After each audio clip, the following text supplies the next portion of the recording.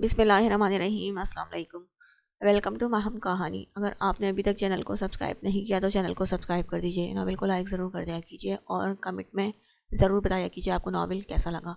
चलते हैं नावल तरफ़। क्या मतलब है आपका चाचू साई? आपने उसके सामने शर्त क्यों रखी? आप जानते हैं वो इस सब का क्या मतलब निकालेगी? इससे तो उसकी निगाहों में इस रिश्ते की कोई अहमियत ही नहीं होगी चाचू साई। अगर उसने आपसे अपनी जायदाद मांगी है तो ये उसका हक है। आपको उसके सामने शर्त नहीं रखनी चाहिए थी। मैं इस ताल्लुक़ को क़्यामत तक निभाना चाहता हूँ, सिर्फ़ छः माह तक नहीं। आपने गलत किया। चाचू साईं, उसने मुसीबतें देखी हैं। अपनी आँखों से उसने भूख देखी है। और यकीन करें चाचा साईं, जो शख्स भूख बर्दाश्त कर लेता है ना, उसके लिए दुनिया का कोई काम मुश्किल नहीं होता। अगर उसे जायदाद चाहिए थी तो आप सारी जायदाद उसके नाम कर देते। आपने अपनी जायदाद मेरे नाम क्यों की? वो बेहद दुख से बोला था।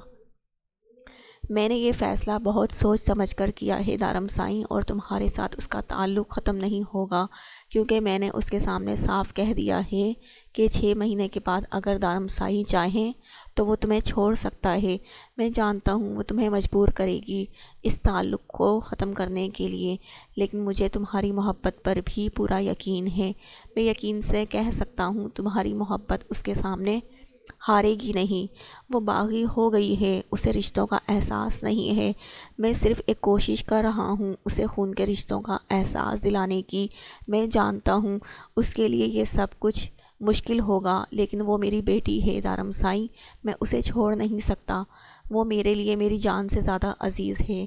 उसके सामने मैं छः माह की शर्त रख कर उसे मजबूर कर रहा हूँ कि वो मेरे साथ रहे। शायद हम सबकी मोहब्बतें उसे रोक लें। उसे हम सबकी मोहब्बत सीधे रास्ते पर ले आए। वो जो गलत रास्ते पर चल निकली है मतलब कि दुनिया में कदम रख चुकी है, मैं उसे वापस अपनों के पास लाऊँगा। मैं उसे बताऊँगा कि इस दुनिया में दौलत, जायदाद कुछ भी नहीं होती। खूनी रिश्ते ही इंसान की असल ताकत होते हैं। और मुझे यकीन है, वो समझ जाएगी, वो नादान है, लेकिन दिल की बुरी नहीं है। तुम भी कोशिश करना कि उसकी नादानियों को माफ़ करके उसके साथ एक नए सफ़र की शुरुआत करो। इन छः महीनों की शर्त को तुम अपने और उसके रिश्ते के बीच में मत आने देना। अगर उसे मेरी शर्त ना रोक सकी, हम सबकी मोहब्बत ना रोक सकी तो उसे तुम्हारी मोहब्बत रोक लेगी। मुझे यकीन है अगर उसने मेरी हम सब की मोहब्बतों को ठुकरा भी दिया ना, तब भी वो तुम्हारी मोहब्बत को ठुकरा नहीं पाएगी। मेरी बेटी को एक मौका दो। दानम साई, मैं तुमसे अपनी बेटी के लिए ये छः माह का वक्त माँगता हूँ। मैं तुमसे अपनी बेटी के लिए मोहब्बत व चाहत तवज्जो माँगता हूँ, जो तुम बचपन से उसे देना चाहते हो। दानम साई, मैं तुम्हारे सामने हाथ जोड़ता हूँ। मेरी बेटी को अपना लो, इससे पहले कि वो अंधेरों में निकल जाए। ये क्या क्या कर रहे हैं? आप, वो सिर्फ़ आपकी नहीं, मेरी भी मोहब्बत है। मेरे लिए भी इतनी ही अज़ीज़ है जितनी आपके लिए। आप मुझे अपना सबसे कीमती असासा देकर हाथ जोड़ रहे हैं। ये तो गलत बात है ना, चाचा साईं। हाथ तो मुझे जोड़ने चाहिए कि आप मुझे मेरी मोहब्बत दे रहे हैं। उसका इनकार सुनने के बाद भी आप मुझसे मेरी मोहब्बत नहीं छीन रहे हैं। भला उससे ज़्यादा और मुझे क्या चाहिए होगा? बस अब ये आँसू साफ़ करें। आपकी बेटी को क्या लगता है कि वो छः माह बाद मुझे छोड़कर चली जाएगी तो कह दीजिएगा उससे, अगर हिम्मत है तो छोड़ कर जाए। दारम शाह उसे इतनी मोहब्बत करेगा। ये दुनिया की हर जायदाद दौलत उसे मेरी मोहब्बत के सामने फीकी लगेगी। दारम शाह उससे इतनी मोहब्बत करेगा कि वो कि वो मेरे बिना जीने का तसव्वुर भी नहीं करेगी। बस अब से आप अपनी बेटी की फ़िक्र करना छोड़ दें। अब से वो दारम शाह की ज़िम्मेदारी है। और उसकी अकल अब मैं ठिकाने लगाऊँगा। आप शादी की तैयारियाँ करें। वो उनके हाथ थामते हुए बोला तो चाचू साई ने खुशी से उसे अपने सीने में भींच लिया। अरे, इतनी जल्दी घर में शादी की तैयारियाँ, खैरियत तो है। अभी तो हमारी दुल्हन ने हाँ तक नहीं की। जाविश कमरे में दाखिल होते हुए बोली तो सरनिश लम्हे में सरदा पैर सुर्ख हो गई थी। ख़बरदार जो तुमने मुझे तंग करने की कोशिश की, मैं पहले ही बता रही हूँ। मैं दारम साई से नहीं, बल्कि साहिर अदा से शिकायत करूँगी तुम्हारी। उसका शरारती अंदाज उसे बौखलाने पर मजबूर कर गया था। इसीलिए वो उसे धमकी देते हुए बोली हाँ जी, जैसे साहिर अदा तो हम पर मिनिस्टर लगे हुए हैं, क्या उखाड़ लेंगे साहिर अदा? मेरा ज़रा तफसील से बताएँ मुझे, और मैं तो तंग करूँगी, छेड़ूँगी भी। भाई, हमारे ख़ानदान की पहली शादी है। मैं तो आपको इतनी आसानी से हरगिज़ नहीं छोड़ने वाली, लेकिन इससे पहले मैं आपको एक और ताज़ा ख़बर सुना देती हूँ। मेरे कानों में थोड़ी देर पहले ये ख़बर पड़ी है कि, के वो अपनी बात अधूरी छोड़ दी, जाकर सना के साथ बेड पर लेट गई, जो खुद भी उसकी बात सुनने के लिए काफ़ी बेचैन थी कि से आगे भी कुछ बोलो, क्यों तंग कर रही हो? सना उसे चप लगाते हुए पूछने लगी कि इस जुम्मे को रस्म माइयों है और हम सब शॉपिंग पर जाने वाले हैं। वो बेहद खुशी से चहकते हुए बोली तो सना जो बेड पर लेटी हुई थी, खुशी से उठकर खड़ी हो गई। हाय मेरी जान, क्या खबर सुनाई है? ओफ कितने दिनों से शॉपिंग के लिए अम्मा साई के तरले कर रही थी। लेकिन मजाल है, जो अम्मा साई ने मेरी एक भी बात सुनी हो। शुक्र है, शादी के बहाने शॉपिंग का तो चांस बना। दुल्हन बेगम, तैयारियाँ करो। वैसे मेरे भाई को ना हल्का नीला रंग बहुत पसंद है तो वलीमे का ड्रेस क्या हल्के नीले रंग का ख़रीदे? सना भी जरनेश को छेड़ने में भरपूर जाविश का साथ देने लगी। बाकी सब कुछ अपनी जगह, लेकिन उसे अपने भाई की शादी की खुशी भी बहुत ज़्यादा थी। जो नूर को सोचकर वो ख़राब नहीं करना चाहती थी। तो फिर क्या ख्याल है दुल्हन बेगम? आपका इस बारे में सना एक बार फिर से उसे मुखातिब करते हुए बोली। तो वो फिर से सुर्ख हो गई। भाड़ में जाओ कपड़ियों। जो मर्ज़ी कर लो। मुझसे क्यों पूछ रही हो? वो रोती शक्ल बनाती, कमरे से बाहर भाग गई थी, जिस पर इन दोनों ने कह कहा लगाया, अल्लाह, ये लड़की तो शादी से पहले ही इतना ज़्यादा शर्मा रही है। शादी के बाद इसका क्या हाल होगा जाविश हँसते हुए बोली, कुछ नहीं होता यार, मेरे भाई को शर्मीली लड़कियाँ पसंद हैं। सना ने आँख मारते हुए कहा, एक बात तो बताएँ सना, अदी, सनान अदा को शर्मीली लड़कियाँ पसंद हैं या आपको कैसे पता? वो कुछ कंफ्यूज होते हुए पूछने लगी। जरनेश, उसने एक लफ्ज़ी जवाब दिया जिस पर इन दोनों का क्या कहा, एक बार फिर से बुलंद हुआ था।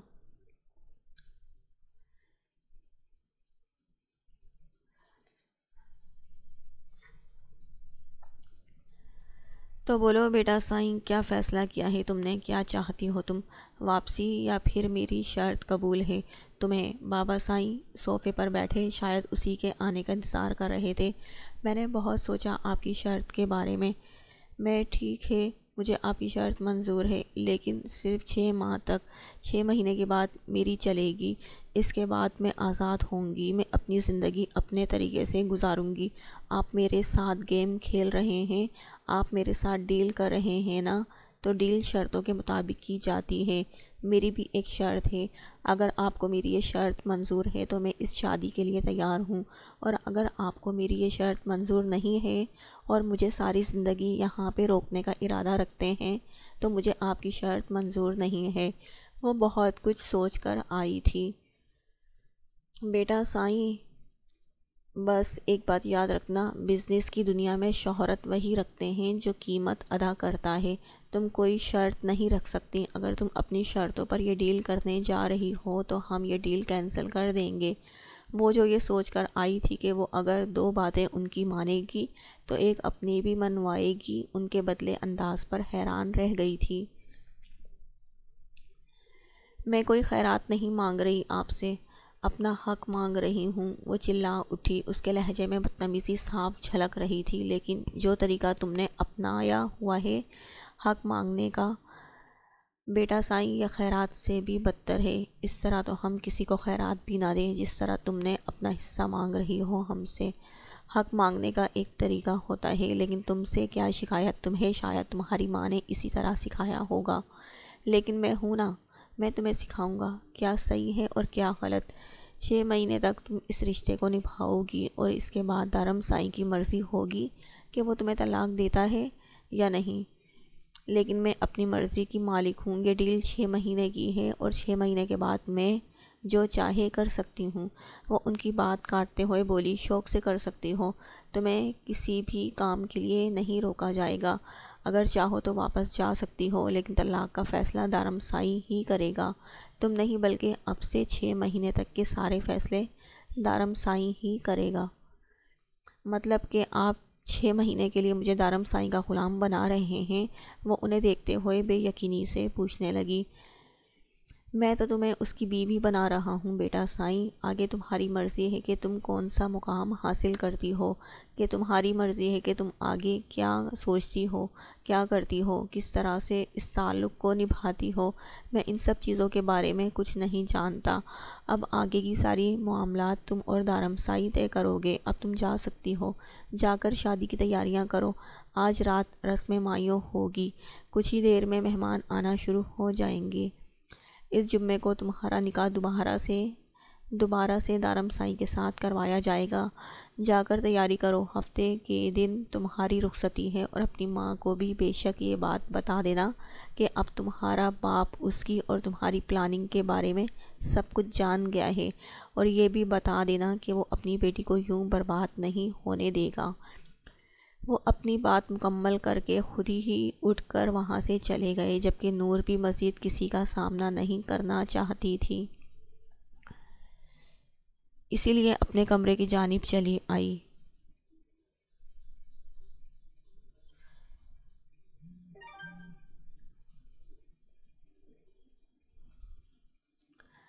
अरे वाह तैयारियाँ शुरू भी हो गई। लगता है माइयों की रस्म बहुत धूमधाम से होगी। आखिर किसके भाई की शादी है?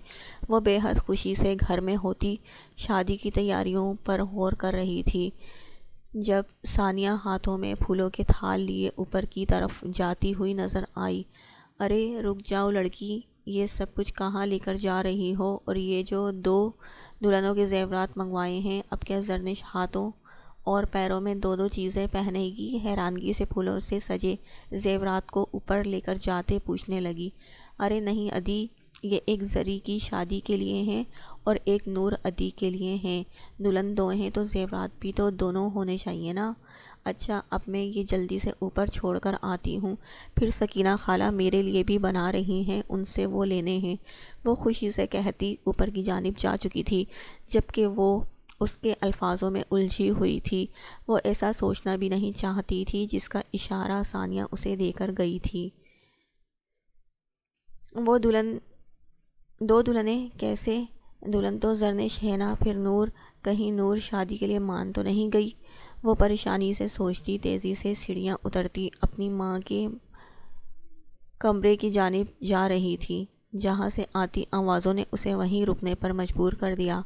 किस बात की खुशी, साईं? अपनी बेटी की खुशियाँ अपनी आँखों से बर्बाद होते देखने के बाद मैं किस बात की खुशी मनाऊं? साईं, जवाब दे मुझे।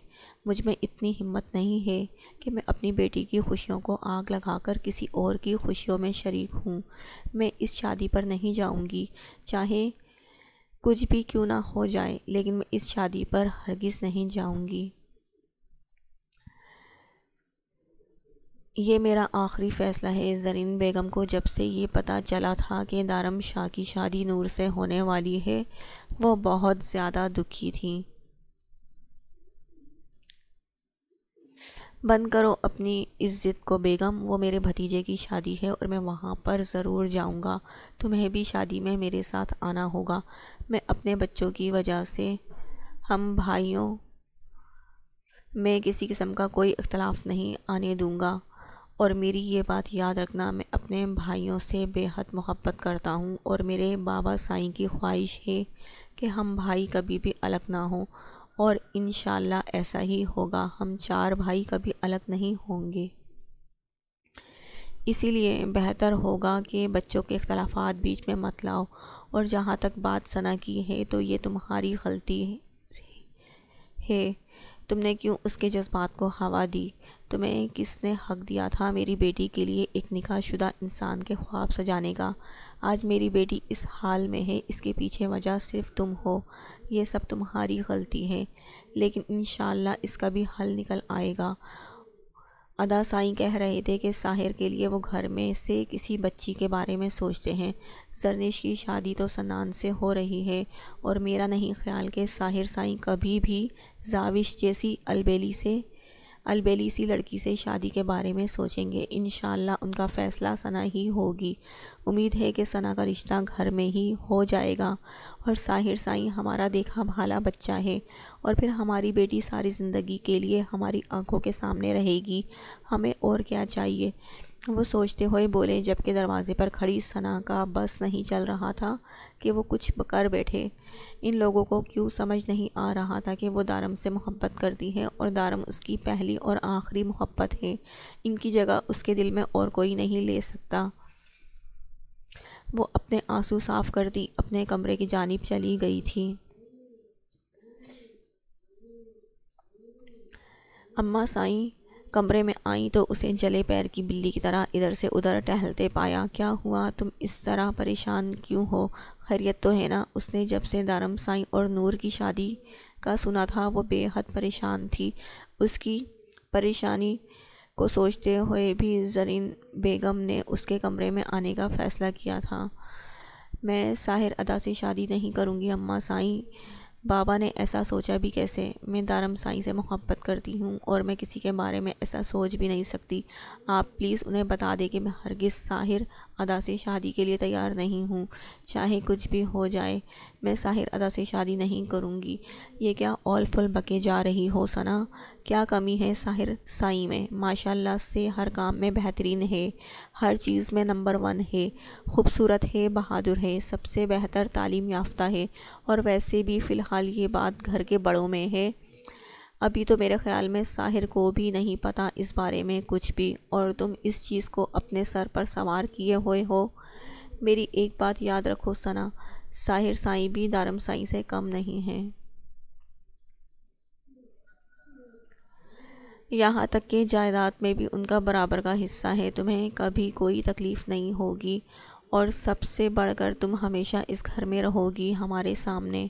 साहिर, गुस्से का ज़रा तेज़ है, लेकिन इसका गुस्सा दारम साई के सामने कुछ भी नहीं। अगर तुम दारम से शादी के लिए तैयार हो तो साहिर तो फिर मैं दारम से शादी के लिए तैयार हूँ क्योंकि मैं उससे मोहब्बत करती हूँ। मैंने साहिर अदा को कभी इस नज़र से नहीं देखा। मैं ऐसा सोच भी नहीं सकती उनके बारे में। मैं उनसे कभी शादी नहीं करूँगी। तो इस बात को आप यहीं पर ख़त्म कर दें। अगर आप इस चीज़ के बारे में आगे का कुछ सोचते हैं तो प्लीज़ मेरी तरफ़ से इनकार कर दीजिएगा। वो उनके सामने हाथ जोड़ते हुए बोली थी, सना, तुम्हारे बाबा इस रिश्ते के लिए राज़ी हैं और वो कुछ सोच समझ कर ही राज़ी हैं। तुम्हारे माँ बाप से बेहतर तुम्हारे बारे में और कौन सोचेगा? हम बहुत सोच समझ कर फ़ैसला करेंगे, मेरी जान।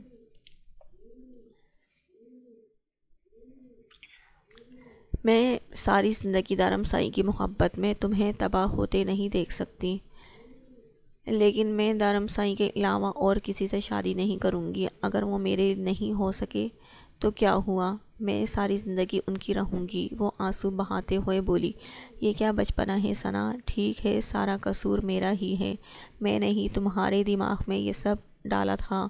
तुम्हारी शादी दारम साई से हो सकती है। अब मैं तुम्हें मज़ीद ये बचपना नहीं करने दूँगी। उनकी तरफ़ से बात चलते ही मैं तुम्हारे रिश्ते के लिए हाँ कर दूँगी और हम तुम्हारी शादी का ही फ़ैसला करेंगे। हम अपनी बेटी की ज़िंदगी एक शख्स के नाम पर बर्बाद होने नहीं देंगे। एक गलती मुझसे हुई है, मानती हूँ, लेकिन यह गलती मैं तुम्हें सारी ज़िंदगी निभाने नहीं दूँगी। याद रखना, हम तुम्हारे माँ बाप हैं। तुम्हारे लिए गलत फ़ैसला नहीं करेंगे। वो गुस्से से कहती कमरे से बाहर निकल गई थी, जबकि सना वहीं बेड पर बैठी आँसू बहाने लगी। अम्मा साईं चाहे कुछ भी क्यों ना हो जाए, दारम साईं के अलावा और किसी के बारे में नहीं सोच सकती। मैं शादी करूँगी तो सिर्फ़ और सिर्फ़ दारम साईं से। दारम साईं के अलावा मेरी ज़िंदगी में और कोई नहीं आ सकता, कभी भी नहीं। उसे कमरे में आने के बाद पता चला था कि आज सिर्फ़ जरनेश की नहीं, बल्कि उसकी भी रस्म माइयों की जा रही है। लेकिन उसे कौन सा कोई फ़र्क पड़ता था? और ड्रामा करने का फ़ैसला कर ही लिया था कि ये सारा ड्रामा करने के लिए भी तैयार थी। उसे इन चीज़ों से कोई लेना देना नहीं था, लेकिन अब वो अपने हिस्से के लिए कुछ भी कर सकती थी। अगर वो अपने हिस्से के लिए छः महीने की इस शादी के लिए तैयार हो गई थी तो फिर बाकी दिखावे पर उसे क्या एतराज़ हो सकता था? पहले हल्दी माइयों जुम्मे के दिन की तैयारी की जा रही थी, लेकिन जुम्मे को मौलवी साहब ने निकाह रख लिया था। बाकी सारी रस्म जुम्मे से पहले पहले अदा होनी थी। इसीलिए रस्म माइयों आज ही रख दी गई थी। सब लोग जमा होना शुरू हो गए थे, जबकि वो बिना ज़्यादा किसी भी चीज़ में इंटरेस्ट लिए ऊपर अपने कमरे में आ गई थी, जहाँ उसके लिए एक खूबसूरत ड्रेस के साथ फूलों के जेवरात बेड पर रख दिए गए थे।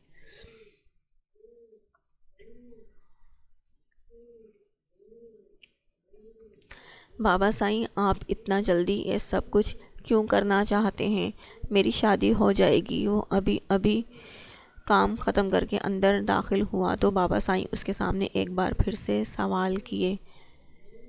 हाँ बेटा साईं, तुमसे ज़्यादा बेहतर पता है मुझे, मैं तो सोच रहा हूँ कि घर में शादियाँ चल रही हैं तो तुम्हारा निकाह भी कर देंगे ताकि तुम्हारे सर पर सहरा सजा कर मैं खुश हो जाऊँ। तुमने तो कसम खा रखी है अपने बाप को कोई खुशी ना देने की। वो उसे देखते हुए मायूसी से बोले, बाबा साईं, आपकी ये इमोशनल ब्लैकमेलिंग मुझ पर नहीं चल सकती। अगर आपकी कोई बेटी होती तो शायद कोई बात बच जाती आपकी। लेकिन आपका तो एक बेटा है। यहाँ पर आपकी दाल नहीं गलने वाली। वो लबों से सिगरेट लगाता, उनके सामने स्मोकिंग करने लगा। अब तुम मार खाओगे मुझसे, तुम्हारा बाप छोड़ चुका है। ये तुम कब छोड़ोगे? वो बड़े गुस्से से डांटते हुए बोले अच्छा आपने छोड़ दी सिगरेट, कितने दिनों के लिए छोड़ी? वो उन्हें देखते हुए मज़ाक उड़ाने वाले अंदाज में गोया हुआ, अल्हम्दुलिल्लाह, हमेशा के लिए छोड़ दिया है, और अब तुम भी छोड़ दो, ये सेहत के लिए अच्छी नहीं होती। वो उसे समझाते हुए बोले थे बाबा साईं, आपको ये बात बुढ़ापे में पता चली तो मैं जवानी में कैसे समझ लूँ?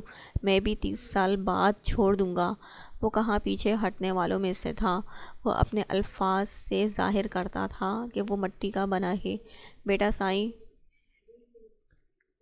आने दो मेरी बहू को, फिर देखना तुम्हारे ये तेवर कैसे बदलते हैं। वो उसकी बातों से मायूस होकर बोले उससे सिगरेट छुड़वाना इतना आसान नहीं था क्योंकि वो बहुत छोटी उम्र से इस चीज़ की तरफ़ लग गया था। बचपन में वो उन्हीं के सिगरेट के छोटे छोटे टुकड़े उठाकर लबों से लगाकर अच्छी खासी मार भी खाता था, लेकिन छोटी उम्र में ही जब माँ बिछड़ गई, तब जैसे तहजीब, तरबियत, लिहाज, वो हर चीज़ भूल गया था। इतने खुश फहम ना हो बाबा साईं, ये ना हो कि आपका बेटा आपकी बहू को भी नशई बना डाले। अपनी तरह अपनी तरफ़ से वो शरारत से हँसते हुए बोला तो बाबा ने नाराज़गी से उसे देखा, वो कभी नहीं सुधर सकता था। तुम्हारा कोई इलाज नहीं है मेरे पास। बोलो, निकाह के लिए राज़ी हो तो बात कर लूँ। वो फिर अपनी बात पर पलट आए। भतीजी साहिबा से पूछ लीजिएगा, हो सकता है सिगरेट पीने वाले लोग उसे पसंद ना हो। वैसे पाइप की मार भूला नहीं हूँ मैं। उसी की वजह से आपने पहली बार मुझ पर हाथ उठाया था। वो उन्हें कुछ याद दिलाते हुए कहने लगा।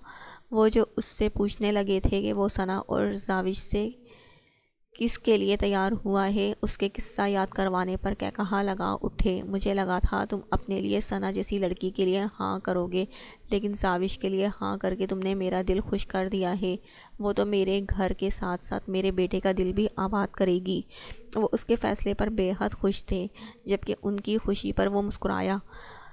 इसमें कोई शक नहीं था कि सना एक मैच्योर लड़की थी। वो इसको बहुत अच्छे तरीके से समझ सकती थी। इसके साथ इसकी ज़िंदगी बहुत अच्छी गुजरती, लेकिन इसके दिल में धर्म साई था और वो एक ऐसी लड़की से शादी के लिए तैयार नहीं था जो अपने दिल में किसी और को बसा के रखे।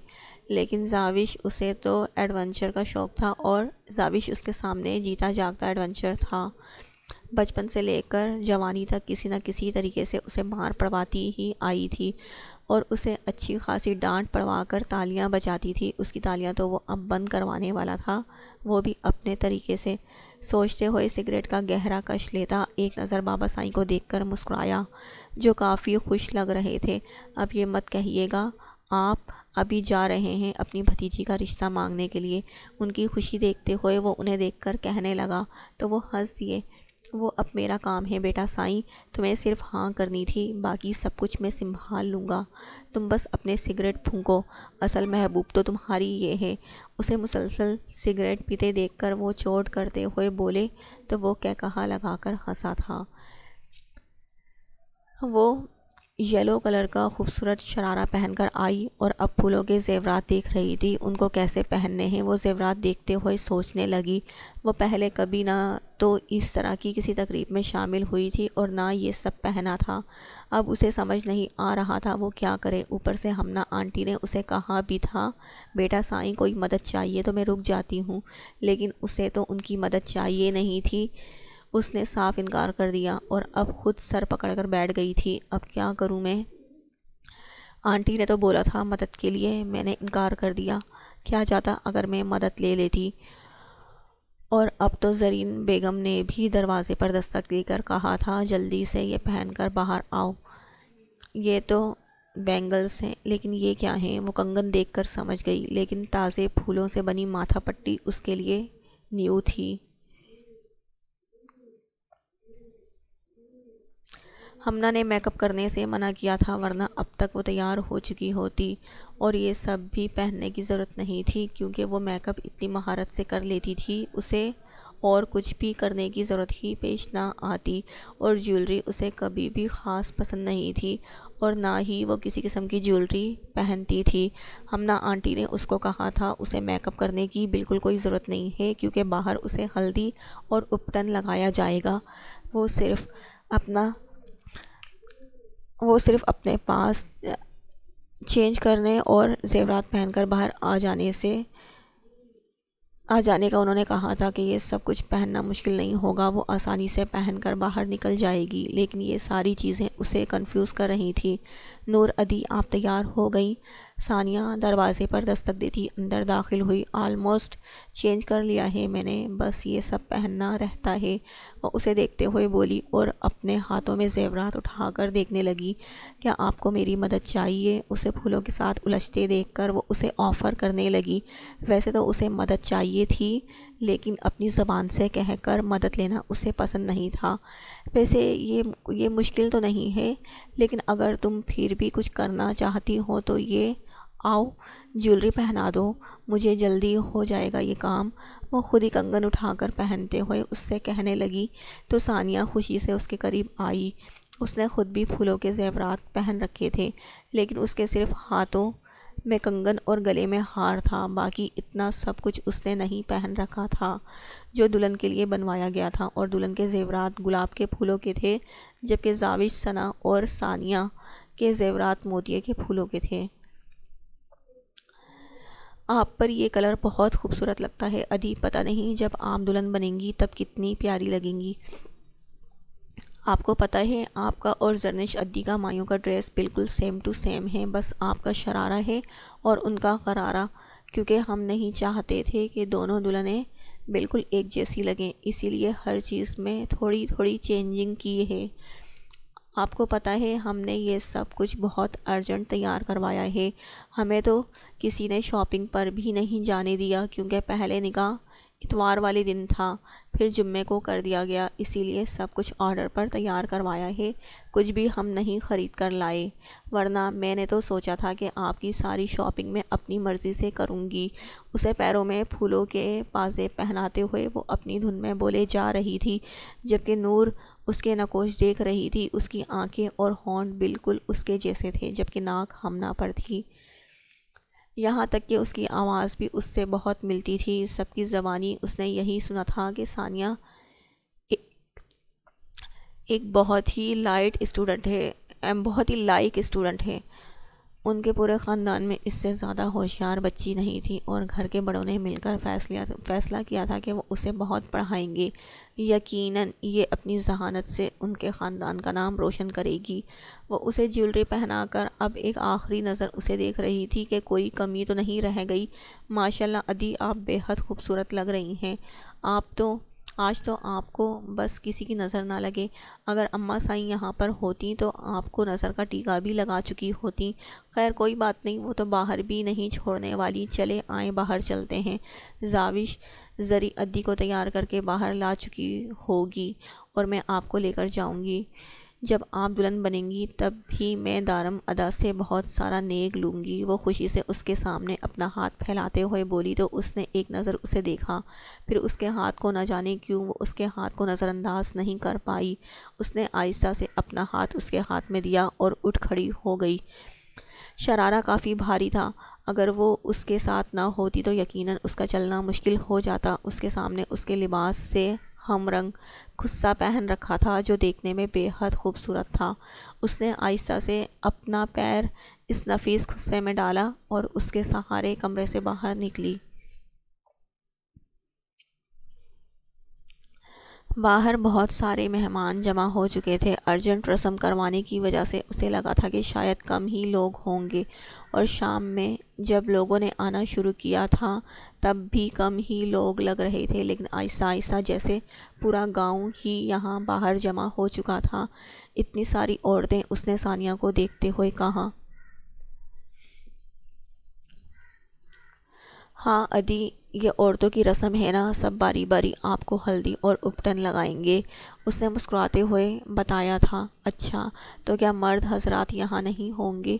वो उसके साथ चलते हुए पूछने लगी। तो सानिया ने फ़ौर नामे सर हिलाया।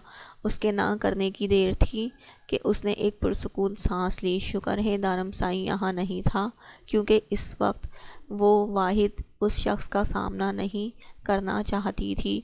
यकीनन दारम साई को पता चल गया होगा, उसने अपने बाप की दौलत के लिए उससे शादी के लिए हाँ की है। वो नहीं जानती थी कि घर में ये सब कितने लोग जानते हैं, लेकिन यकीनन ये सब घर के लड़कियों से छुपाया गया था, क्योंकि अगर इन सबको पता होता तो ये सब उससे यूँ प्यार ना जताते। ज़री अदी को अभी नहीं लाया गया, कोई बात नहीं, मैं देख कर आती हूँ। आप तब तक यहाँ बैठें। वो ज़मीन पर बनी एक खूबसूरत जगह जिसके आगे पीछे तकिए लगाकर दो लोगों की आरामदेह जगह बनाई गई थी, वहाँ बिठाकर खुद अंदर चली गई। उसे यहाँ पर अकेले बैठना बेहद अजीब लग रहा था, क्योंकि वो सब औरतें उसे देख रही थी। उसका दिल चाह रहा था वो उठकर यहाँ से कहीं चली जाए। सानिया उसे अकेले छोड़कर चली गई थी और वो खामोशी से नज़रें झुकाकर बैठ गई थी, क्योंकि उसे ऐसा महसूस हो रहा था कि जैसे सबकी नज़रें उसके चेहरे से चिपक गई हैं। बेटा, तुम बिल्कुल रिलैक्स हो जाओ। तुम्हें घबराने की बिल्कुल ज़रूरत नहीं है। ये सब गाँव की औरतें हैं। ये सब बारी बारी तुम्हारे साथ रस्म करेंगी। तुम्हारे हाथों पर, चेहरे पर हल्दी उपटन लगाएँगी। ताकि जब तुम दुल्हन बनो, तब तुम तब खूबसूरत, तब खूब रूप आए तुम पर। वैसे तो इस बात में कोई शक नहीं कि तुम्हें किसी उपटन की ज़रूरत नहीं है। तुम माशाल्लाह से इतनी हसीन हो कि ये सब कुछ करना बिल्कुल बेकार है। ये सब कुछ करना ज़रूरी नहीं है, लेकिन घर की बच्चियाँ हैं, इनकी ज़िद पर यह रस्म हो रही है। इनकी कुछ ख्वाहिशें हैं और फिर हमारे घर की पहली पहली शादी है। हम चाहते हैं कि सारी रस्में अदा हों। हम ना उसे नज़र का टीका लगाते हुए उसके पास ही आ बैठी थी। नूर को अपनी माँ की जगह इस औरत को देखकर उसे बिल्कुल खुशी नहीं हुई थी, लेकिन फिर भी उसे इस औरत में किसी किस्म का कोई दिखावा मतलब नज़र नहीं आता था। उसने बहुत कोशिश की थी इस औरत के इस चेहरे के पीछे चेहरे को देखने की, लेकिन हर बार नज़रों में मोहब्बत लिए वो उसे अपने बारे में सोचने पर मजबूर कर देती। उन्हें कैसे पता चल गया था कि वो यहाँ बैठी नर्वस हो रही थी? वो खुद से सवाल करती, आगे पीछे देखने लगी। जब सानिया और जाविश जरनेश को थाम कर बाहर लाई, जिसका करारा उसके पैरों में अटक कर बार बार उसे गिरा रहा था, ऐसा क्या कर रही हो? लड़कियों, बच्ची गिर जाएगी। हमना ने तेज़ी से आगे आते हुए जरनेश को थामा। चाची साई, मैं इस ड्रेस में बहुत अनकंफर्टेबल हूँ। मैं दूसरा पीला जोड़ा पहन लेती हूँ। वो नूर के साथ बैठते हुए इल्जा कर रही थी। नहीं, बिल्कुल भी नहीं, ये ड्रेस मैंने बहुत दिल से मंगवाया है।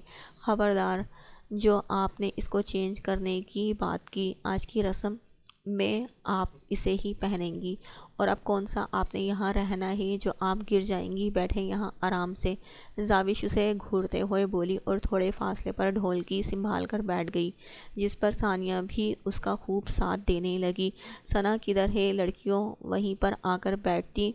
बड़ी बीबी उनसे सवाल करने लगी। सना, अदी को बहुत तेज़ बुखार है। वो अब सिर्फ़ रस्म करने के लिए आएँगी। जाविश बताकर फिर से अपनी मस्ती में लग गई, जबकि नूर परेशानी से सना को सोचने लगी। वो जानती थी इस वक्त वो बहुत तकलीफ़ से गुज़र रही होगी, और उसे अफसोस था कि वो उसकी तकलीफ़ की वजह थी।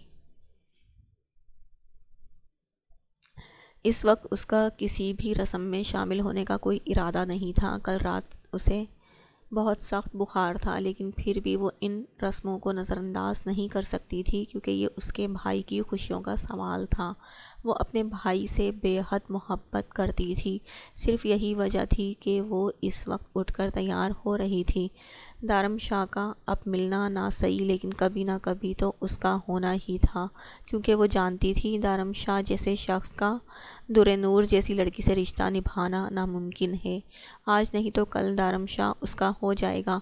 ये उसका यकीन था और नूर के लिए वो कभी भी अपने भाई की खुशियों को नज़रअंदाज नहीं कर सकती थी। अभी वो तैयार हो रही थी कि उसका फ़ोन बजने लगा। बहुत अरसे के बाद अपने फ़ोन पर आरिश का नाम जगमगाते देखकर उसके चेहरे पर मुस्कुराहट बिखर गई थी।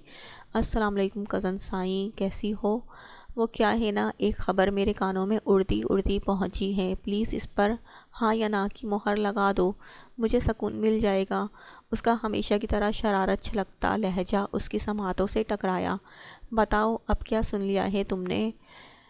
वो कानों में मोती के खूबसूरत फूल का झुमका पहनते हुए मोबाइल फ़ोन स्पीकर पर लगा चुकी थी।